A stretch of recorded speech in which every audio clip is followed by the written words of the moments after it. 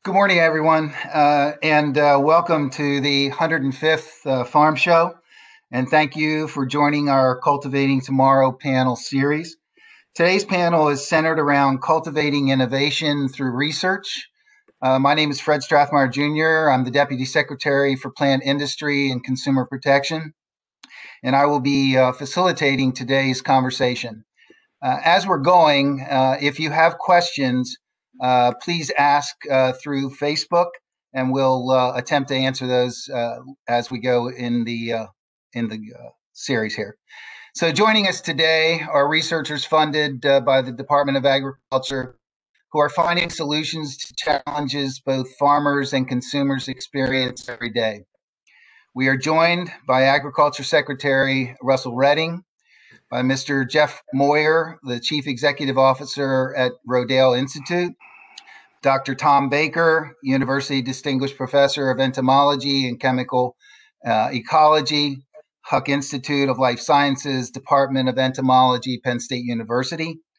Dr. Matthew Helmus, Assistant Professor, Temple University, the Department of Biology.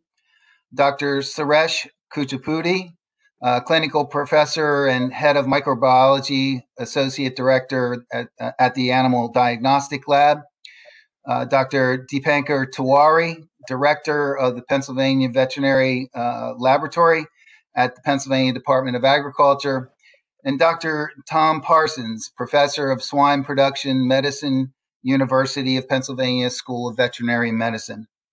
Starting today's discussion with a few opening remarks is Secretary, is Secretary Redding, our 26th Pennsylvania Secretary of Agriculture. Secretary Redding? Hey, thank you, Fred. Uh, yeah, good morning. Good morning, everybody. It's great to be with you, and thank you all for joining us for this virtual farm show.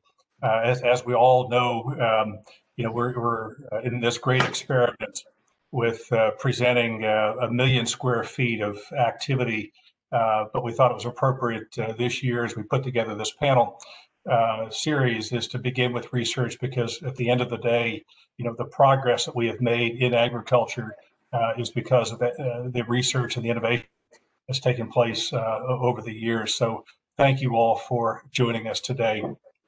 Uh, we selected uh, our theme of cultivating tomorrow uh, to express the aspiration that each of us feels for the day when we regain our freedoms of daily life and traditions.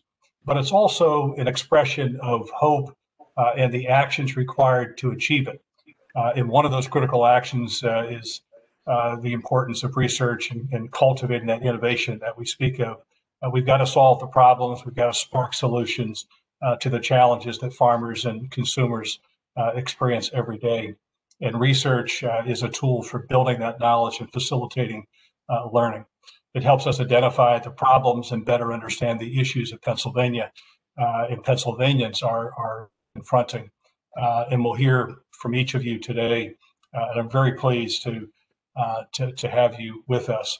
While each of you are uh, uh different in, in your disciplines, uh, there's a common denominator uh, among all of the research, and that is helping Pennsylvania agriculture stay profitable, keep our citizens safe, keep the animal animals and, and certainly our food system safe. So uh, that is a story we wanted to share as part of this uh, farm show and, and, felt it was an important way to begin the, the, panel series. So I'm excited to join you. Thank you all for the partnership with the Department of Agriculture and look forward to the conversation today. Thank you. Thank you, Secretary Redding. As uh, Secretary Redding stated, research is continuing to provide solutions to challenges both farmers and consumers experience every day. Dr. Baker, we're going to start with you today. Can you tell us uh, more about your phorid fly research and how these pests impact Pennsylvania mushroom farmers?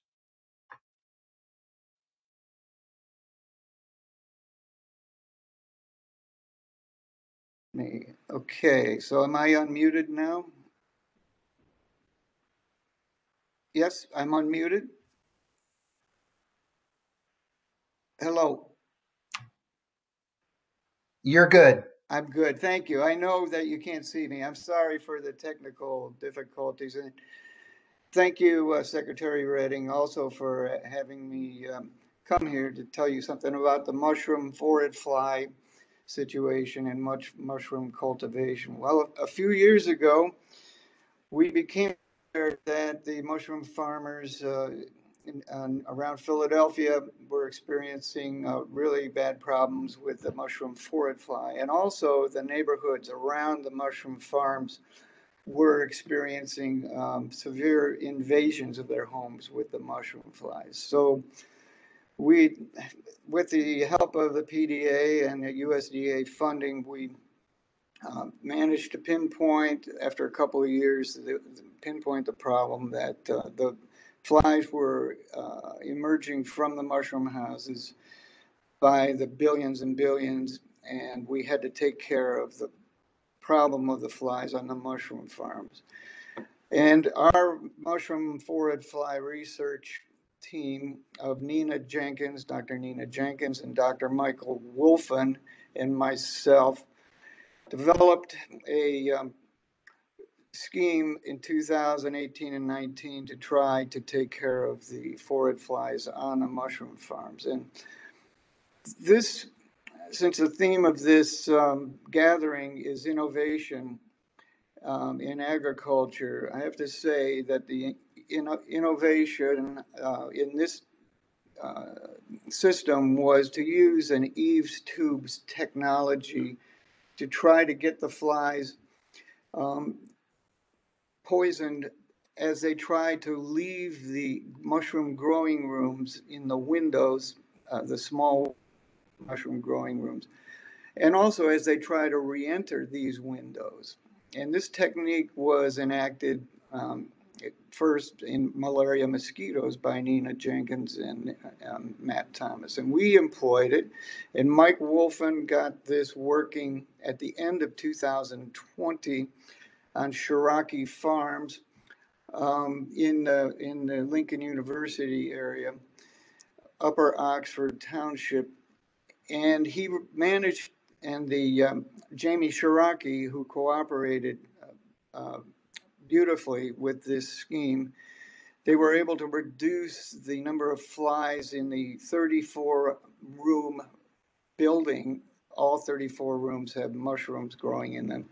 Managed to reduce the flies by starting with like 1 million dead flies that they were able to uh, collect below these windows treated with this um, uh, essential oil product from 1 million per room then in uh, early october to about 700000 per room by december uh, they uh, were able to reduce it to an average of less than 100 per room.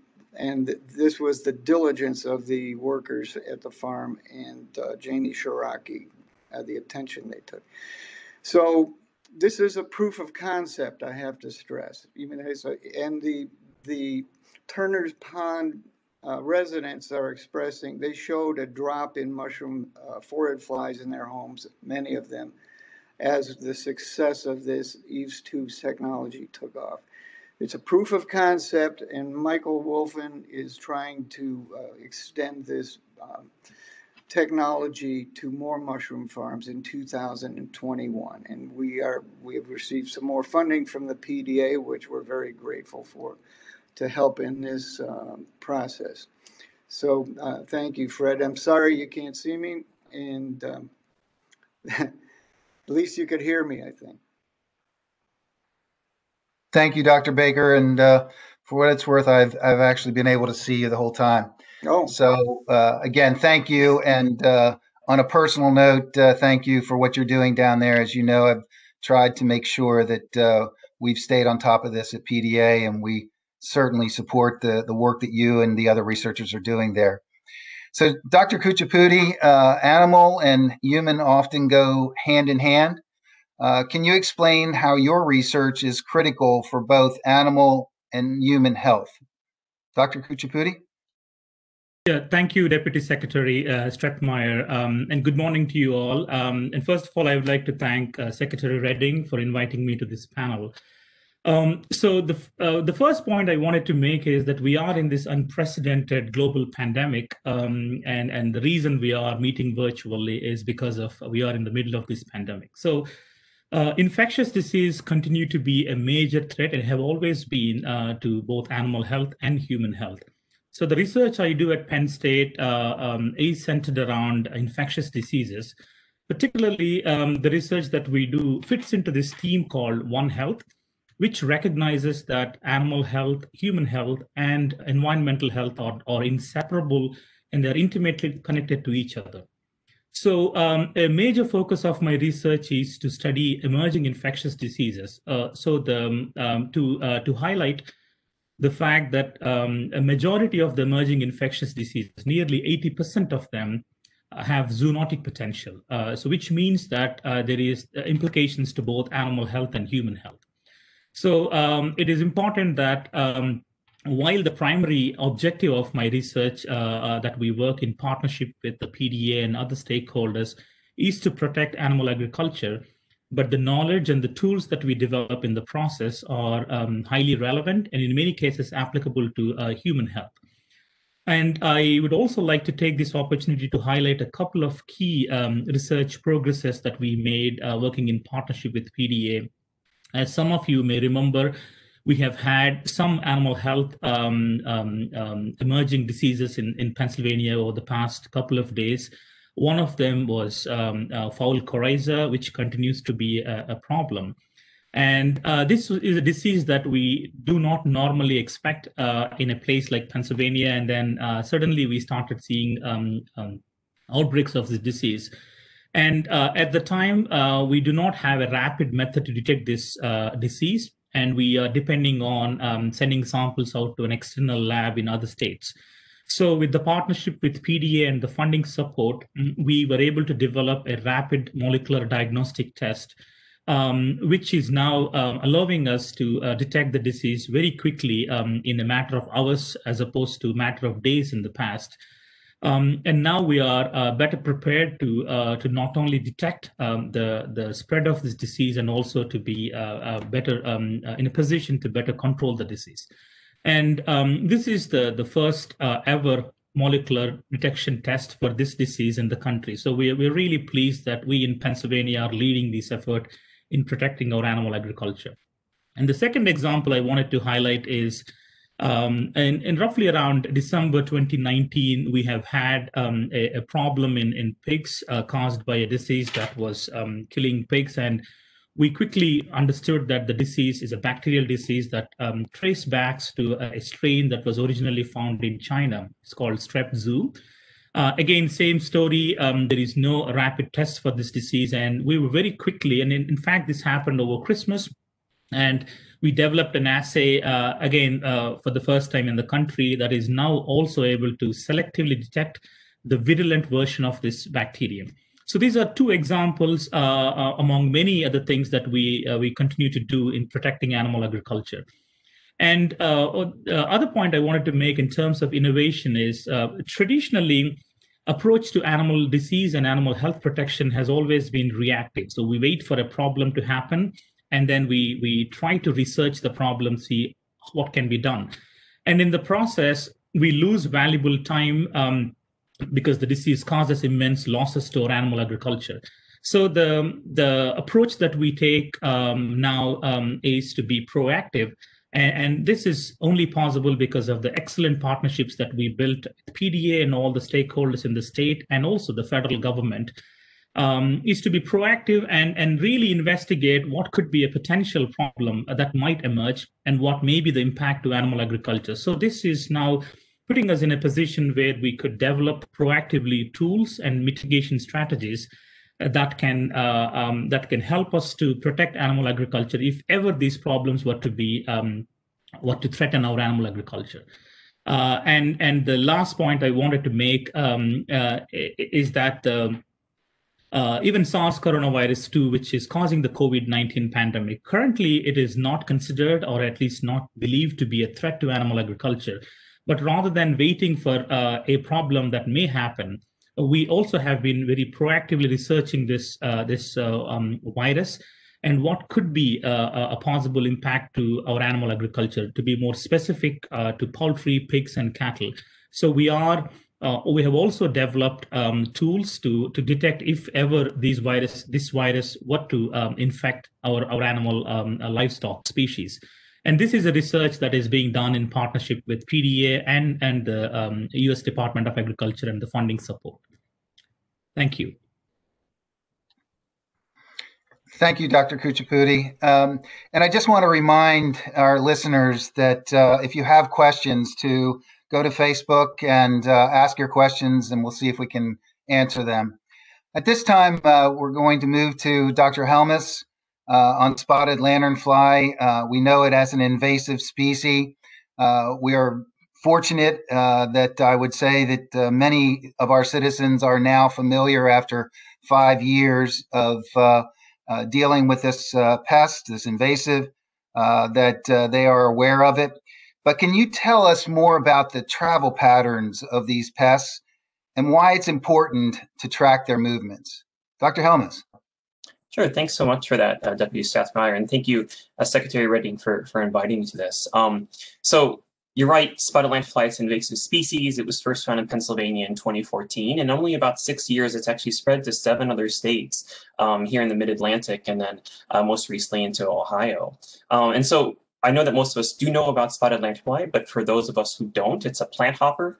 Um, it sucks the sap of about 100 or more different species, um, including some really important timber species and landscaping species like walnut and maple, fruit trees like apple and grapes as well. Um, and the, the Pennsylvania vineyards that have been uh, infested by lanternfly, uh, for example, have seen um, increased costs, um, uh, decreased yield, um, and much more use of pesticides. And so it's a really damaging agricultural pest. Um, and several researchers, including um, my lab at Temple University in Philadelphia, are working hard to try and figure out the solutions. And we're working on different projects um, figuring out how to control the spotted lanternfly so that it doesn't do more damage as it spreads. And so my lab was funded by the Pennsylvania Department of Agriculture to model the spread of the pest think about spotted lanternfly as um, moving, uh, as spreading in two different ways. And first, spotted lanternfly moves naturally. They, they fly, and you can think about that spread as being like you drop a stone in, in a lake and you have sort of a, a spread pattern, a, a, diffusive spread pattern that occurs. But then the second way that spotted lanternfly will actually move or travel is inadvertently through humans, where if you have someone who accidentally moves spotted lanternfly eggs or spotted lanternfly adults into uh, a new area, then you can think about sort of that spread pattern occurring naturally. But then you have these satellite populations popping up in different locations. And then that spread pattern, that natural dispersal starts to occur. And so what we're trying to do is model where those new satellite populations might pop up. Because then if we're able to forecast and identify where those spread populations might pop up. Then that allows PDA, USDA, the farmers, and the public to figure out that, okay, well, that's an area where it's likely to, to, to, to travel there. Then we can put our resources, tamp down that population, and then we're not overwhelming our resources by fighting spotted lanternfly both in the central area where it's spreading and also in these new satellite populations. And by slowing that spread, that gives researchers more time to come up with these solutions so that spotted lanternfly then does less damage um, uh, uh, as we're trying to then figure out solutions. Because if we have more time to figure out those solutions for control, then we can cause less damage in the future.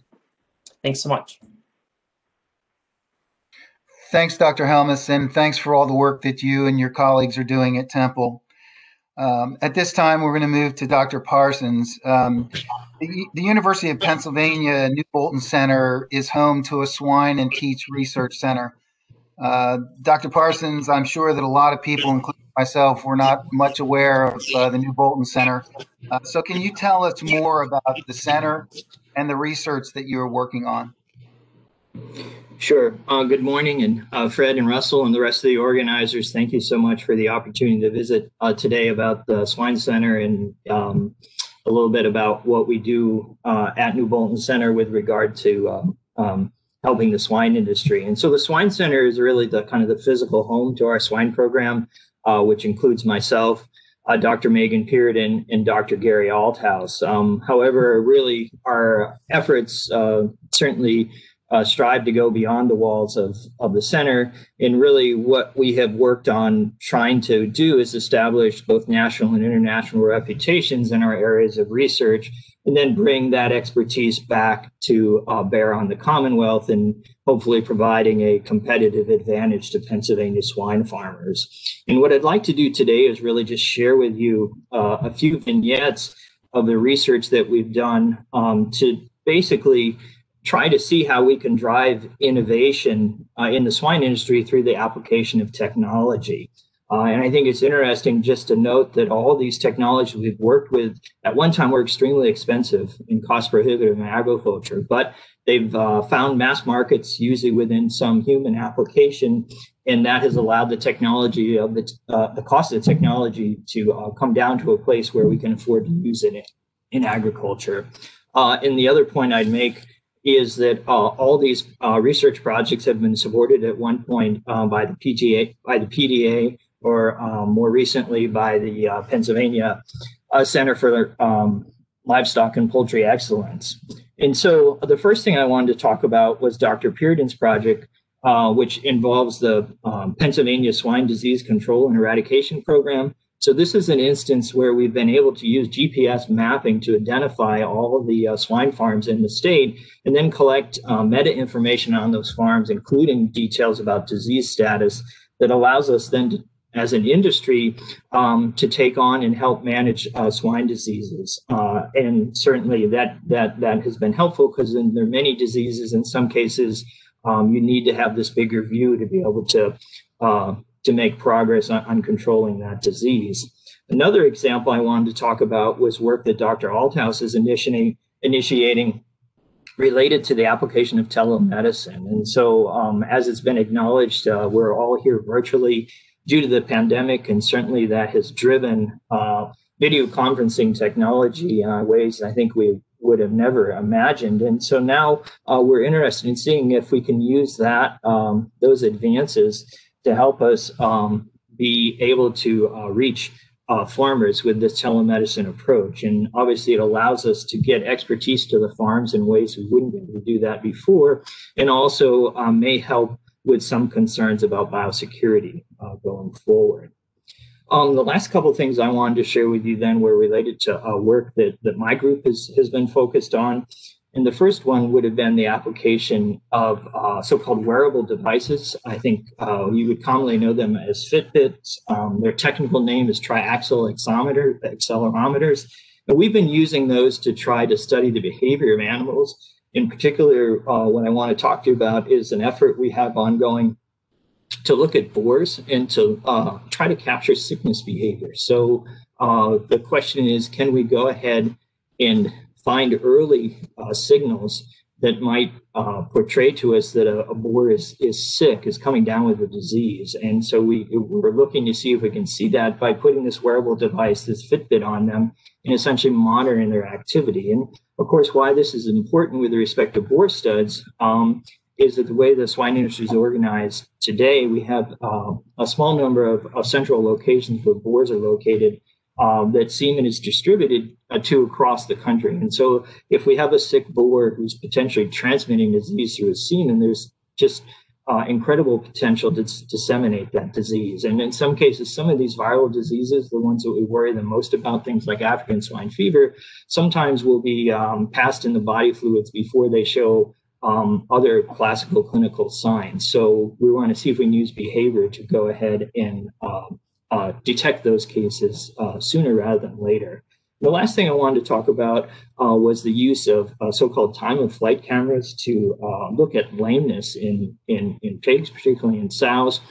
And so I think many of you now have some type of facial recognition uh, device, either on your phone or your laptop. Well, that's using this technology where what it does is it creates a three-dimensional map of, of your face and then uses features from that to identify you.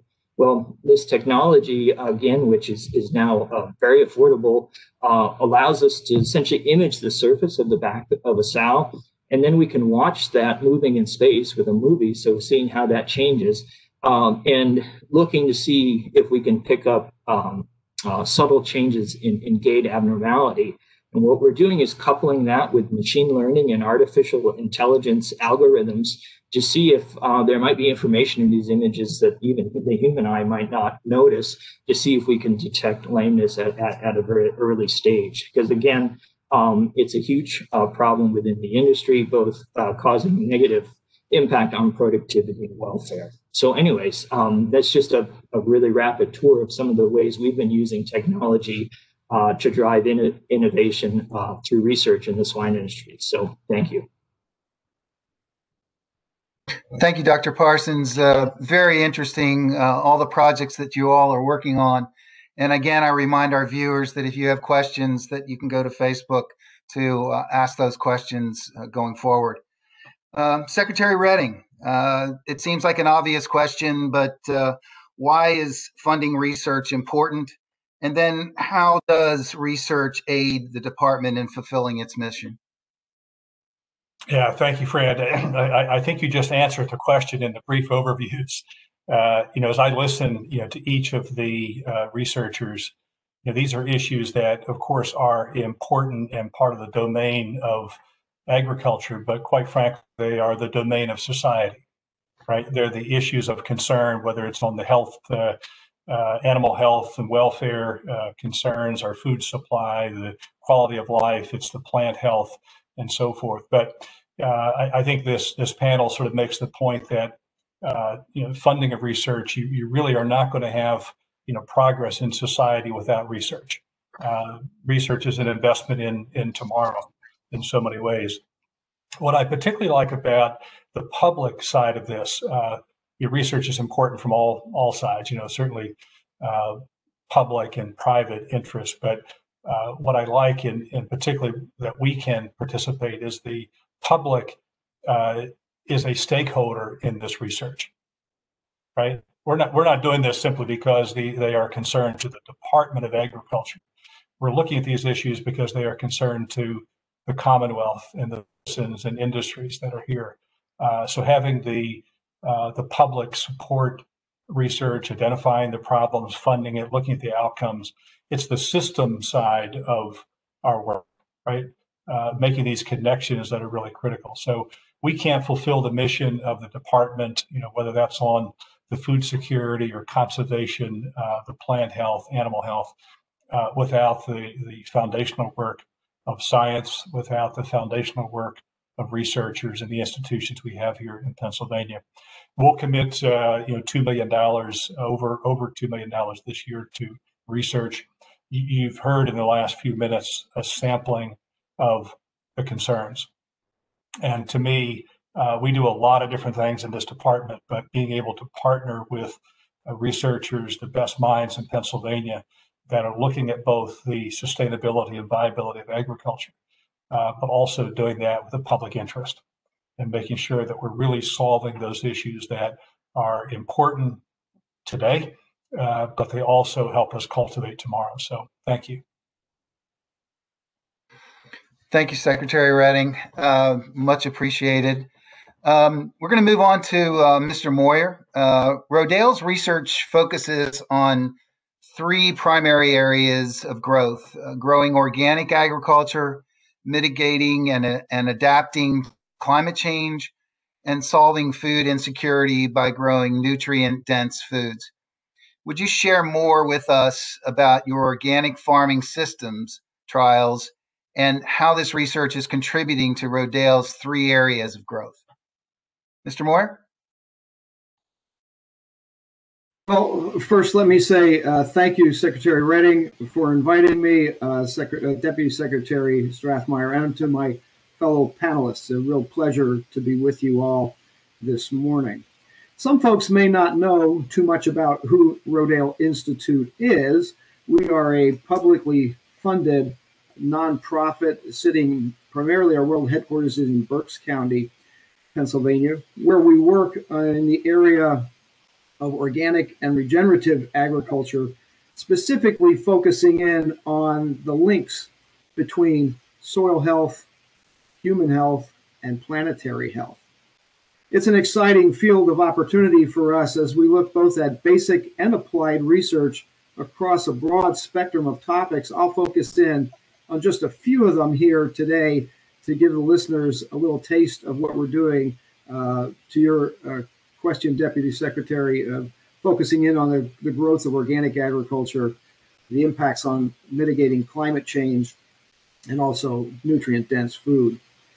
First, when you look at organic agriculture, wonder why would we be working in this area? Pennsylvania, along with the rest of the nation, uh, purchases about any depending on the food group, anywhere from six percent to fourteen percent of their food is produced and grown organically. Yet in Pennsylvania, we only have about one percent of our farmland that is organic. So, from an economic standpoint, that means that the majority of the organic products that are consumed by our state's population are produced someplace else. So, we worked uh, dil- diligently to change that uh, and to bring Pennsylvania farmers to that marketplace so they can take advantage of the consumer demand that is growing specifically in uh, a time of health impacts like we're seeing with COVID when people make choices on their food product based on the impact on their health. And organic consumption is growing rapidly, and we need our state to be able to take advantage of that. We also look at the impacts on climate change and whether we agree as individuals uh, on how we got to a situation where the climate is changing, or whether we even agree with the concepts of climate change all of us as farmers recognize that weather patterns are shifting and changing, and we have to make allowances for that and accommodate that and mitigate our production strategies to be able to take advantage of that. We know that uh, agriculture can be part of the problem or part of the solution when it comes to climate change, and we focus our energy on solutions here at Rodale Institute in partnership with, of course, our land grant universities, many of the institutions that are represented on this panel, as well as uh, land grant universities across the nation, looking specifically at the links with carbon. We know that our uh, production systems can release carbon into the atmosphere or we can trap carbon in the soil. So we're uh, looking at the science of that, and specifically Dr. Yichao Rui, a soil microbiologist here at Rodale Institute, is looking at the soil's ability to trap and hold carbon at greater depths, moving it down into the soil profile where we can hold it for decades, if not uh, centuries. Uh, at the same time, uh, Dr. Gladis Zinati is looking at other work focusing in on human health, targeting in, in particular uh, production strategies impact on not just on soil health, but how the health of the soil translates into human health. Uh, a simple piece of information that might people might find interesting is a compound that's found in our soil called ergothioneine. Ergothioneine is an amino acid that is produced by certain mushrooms, but primarily produced by soil funguses. And we wonder why would that be important to us as humans? Well, we've known about ergothioneine for about 100 years, but we didn't really know what it did or how it was produced. Uh, turns out that this amino acid has a strong impact on neurological disorders. Things like autism, attention deficit disorder, or even Alzheimer's can be mitigated by this amino acid ergothioneine. What we've seen is that ergothioneine in our soils has been dropping at a rate of about 1% a year. So over the last 50 years, we've lost half of the ergothioneine in our diet different production systems, primarily focusing in on uh, regenerative organic systems, we can get the soils to produce more ergothioneine, therefore having huge impacts on our human health. So by looking at these nutrients, uh, both uh, min- vitamins, minerals, as well as uh, phytonutrients and micronutrients, we're beginning to use technology now to move from looking at a few hundred uh, compounds found in our soils and in our foods to tens of thousands using molecular mapping. So there's a lot of exciting technology uh, that's leading us to change as farmers the way we produce food so we can supply better healthier products to our consuming public. Thank you, Deputy Strathmeyer. Thank you, Mr. Moyer. Again, very interesting. And, and as uh, you said, many people are not uh, aware of Rodale. And so thank you for that. Um, Dr. Tewari, um, you have been uh, working on chronic wasting disease uh, research. Um, first of all, what is chronic wasting disease? And how will your research benefit the Commonwealth's deer farmers? Thank you, Deputy uh, Secretary Fred Smith, uh. And uh, thank you, uh, Secretary Redding, for inviting me to this uh, uh, learned panel. greetings to all the members who have joined us this morning. chronic wasting disease is a disease of deer. It's in the same group of uh, prion-mediated disease, as is uh, known to cause uh, mad cow disease, with the only difference that this disease, uh, chronic wasting disease, does not cause disease in humans. So it's a transmissible disease in uh, deer uh, that causes the spongiform encephalopathy and death of the infected animals. Our official surveillance methods currently rely on laborious uh, methods that take time to conduct in the laboratories to diagnose the disease and infection. Uh, and they rely uh, pretty much on techniques that have been worked on through years of work, and, and they're called immunohistochemistry and ELISA. Because it takes time to diagnose these diseases, and they're diagnosed at the point of death of animals, uh, uh, the samples are collected when the animal dies. So obviously there would be interest in new generation of tests that can rely on detecting the disease in antemortem situations where we can detect them in live animals.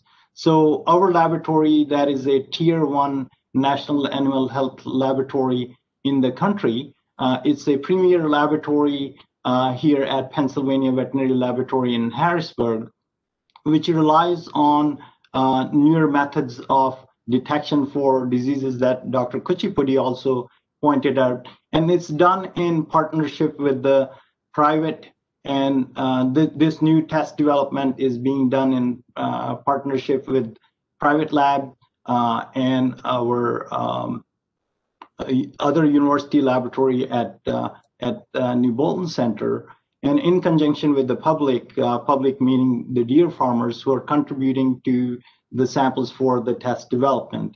The goal with that new test, which is called RT-QuIC, is to develop a test that would be uh, used on live animals, uh, where we can collect the samples uh, from uh, from these animals. It could be feces of the animals. It could be uh, the biopsy samples that could be collected. And what we have seen so far in the partnership that we have uh, fostered is that we are seeing some benefits that we can see uh, some of these infected animals being detected early and, and, and faster. So I think, again, that's the goal from a diagnostic standpoint is can we detect these animals early? So rather than being reactive when the animal dies, can we find them earlier in a herd and, and, and, and have mitigation plan that we can reduce the infection. The other concept in these prion mediated diseases is that uh, they're driven by certain uh, genetic or genotype.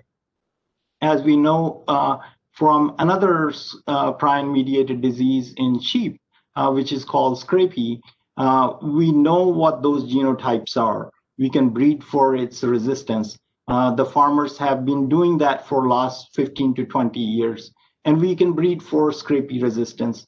We do not know those markers in uh, deer yet. We know that there are certain markers that can delay the progression of the disease, but we don't know the markers that would completely eliminate the disease. So with our partners in other universities that have been working on these challenges, we've been te teaming up and coming up with what models could be used that could help mitigate the disease and the disease in the deer population. So thank you. Uh, really appreciate uh, the time. Thank you, Dr. Tewari. Um, having uh, been part of uh, some of this conversation, uh, I know that you've put quite an effort into it. Uh, so, uh, again, I want to encourage our viewers and listeners to uh, ask questions in Facebook. And as a matter of fact, we do have one. and I think we'll start with Secretary Redding. what are some of the successes the department has had with research? And the, the question uh, circles around. Th- they're thinking about plum pox and what uh, we were able to do at the department as as a success story there. Yeah, thank you, Fred. And it's a, it's a good question. You know, it's interesting um, that that's uh, uh, the uh, caller identified plum pox. Um, I had that at the top of the list. You know, I, I, think it's one of those untold stories of just how important the uh, citizen science is here, uh, but also the research institutions through, uh, you know, Penn State University and particularly our Fruit Research and Extension Center as part of that extension network in Adams County. You know, back in 1999, much like the spotted lanternfly today, you know, we were confronted with a plum pox virus, the first time that it was identified in North America uh, and it was here in Adams County. Uh, and at the time, uh, it, it, really uh, was viewed as terminal. I mean, it was going to be the end of the stone fruit, which which are plums and peaches. Uh, you know, and years on, uh, with the cooperation of growers and Penn State and the U.S. Department of Agriculture, we actually succeeded in eliminating that plum pox virus from Pennsylvania. Uh, that is both a state story and a national story. Uh, that is just one example. You know, I look at the, the conservation work and water quality and the phosphorus index uh, work that's done at Penn State. You pick from the panel today, and, and Dr. Kuchipudi has talked about coryza. Uh, you, you, could say the same thing with the high path avian influenza. So there is a really long list that I think everyone listening should know that uh, the, the funding that we support and provide through the state really acts as the yeast, right? It raises the other money, it raises the professional group, you know, all of the uh, the disciplines that are that are come together to help solve these problems. But uh, from this, that there is a really long list of success stories over the years. But as anyone here will tell you, uh, you have to also start. You have to invest you've got to work at it and be perse- you know, persevere through that. So, uh, but a good story to tell in our investment in ag research. Thank you. Thank you, Secretary Redding. So, uh, a last question for the group. Um, research, innovation, and advancement all go hand in hand. From your perspectives, what are the greatest challenges facing the agriculture and food industries? And how can the public provide support to combat these challenges through research? Um, Dr. Kuchipudi, would you uh, mind starting?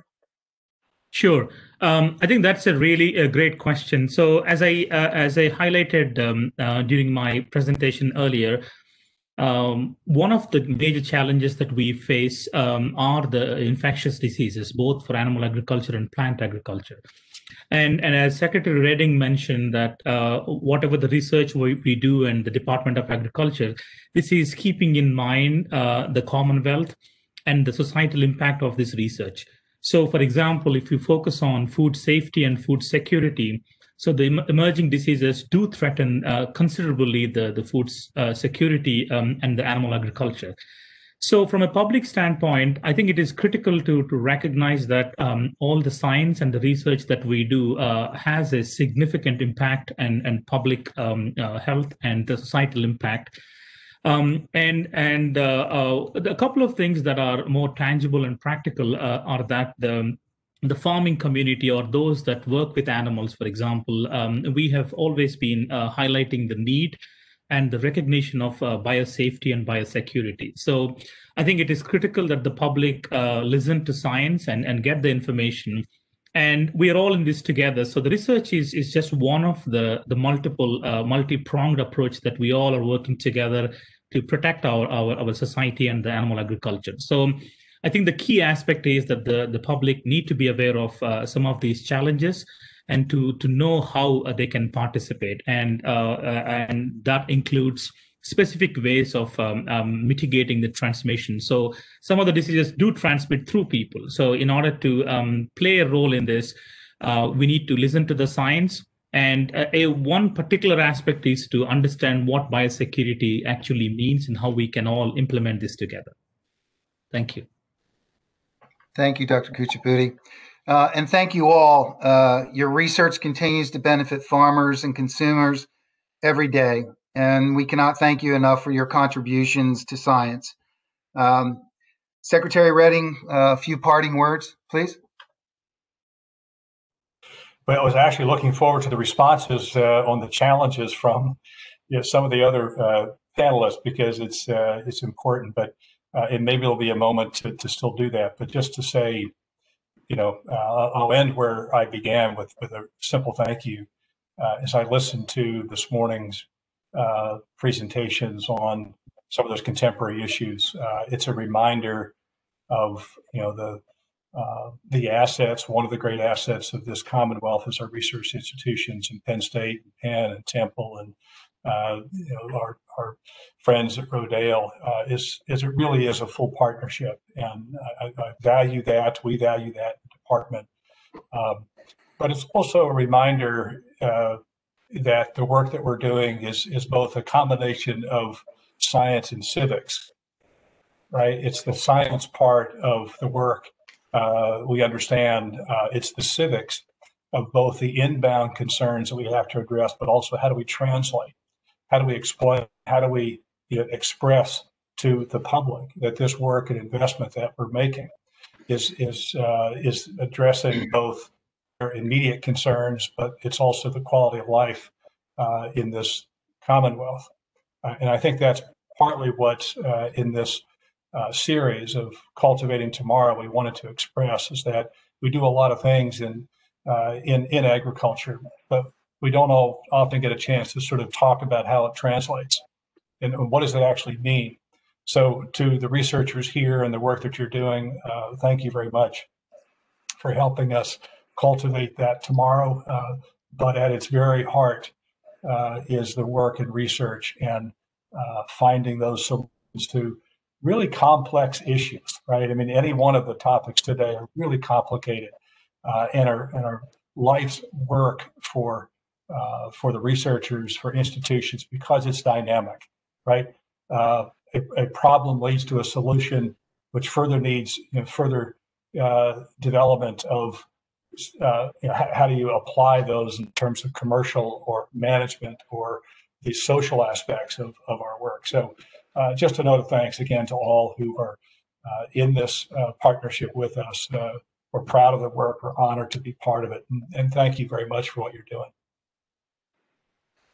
And I guess uh, we do have a little bit more time, uh, Secretary. So um, again, I'll I'll put the question out to the group. Um, again, from your perspectives, what are the greatest challenges facing the agriculture and food industries, and how can the public provide support to combat these challenges through research? Um, I, this is Tom Baker. Yeah. Um, yeah. Thank you, Deputy Deputy Strathmeyer.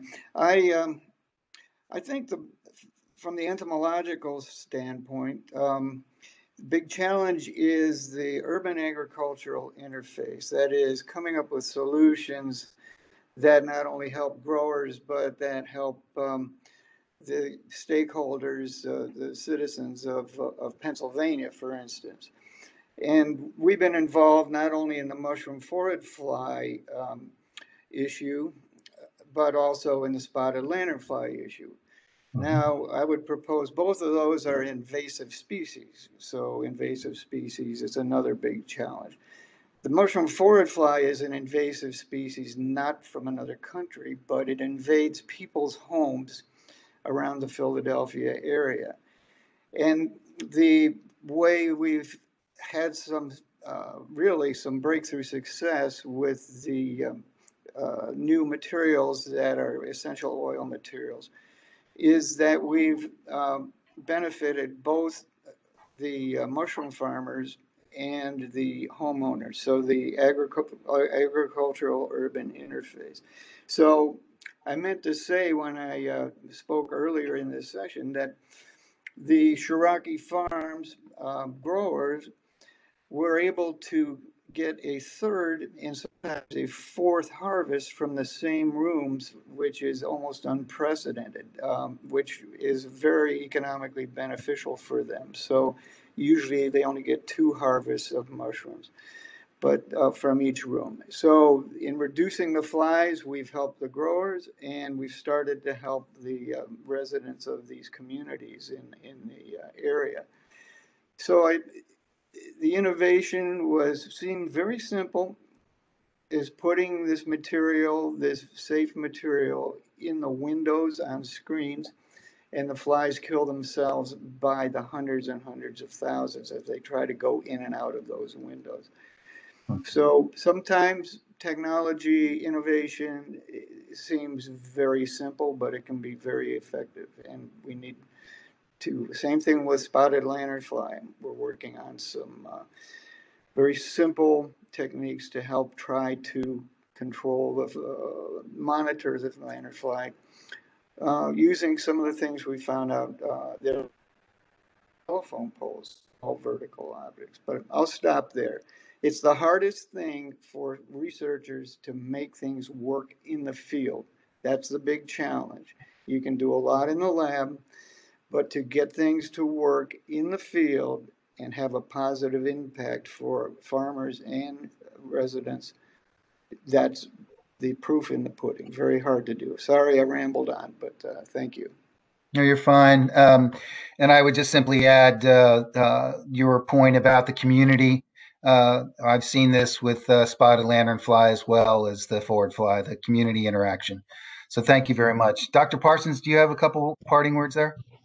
Sure. I uh, here at Penn Vet, I think just build out a little bit um, on this kind of uh, societal interaction piece, and I think we've been very, very interested in helping farmers over the years try to evolve uh, their methods and practices to meet this um, changing expectation society has about agriculture. And I see that to be one of the continuing uh, challenges that we face. And unfortunately, um, sometimes I think what is a well intentioned uh, thoughts um, result in policy actually getting ahead of science. And I think one example I would throw out to you is this Proposition 12, which is going into effect in a year from now in uh, California, that has the potential to impact um, farmers all over the country.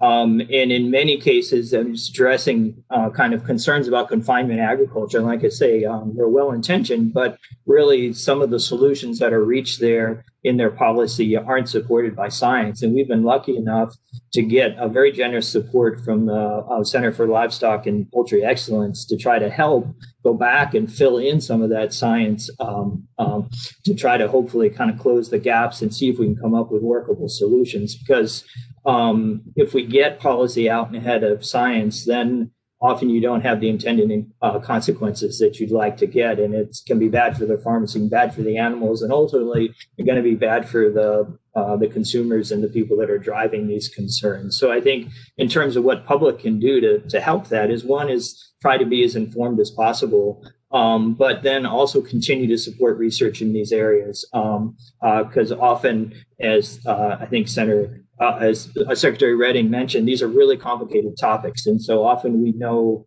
we know less than we know more, and, and so there's always a need for support in these areas.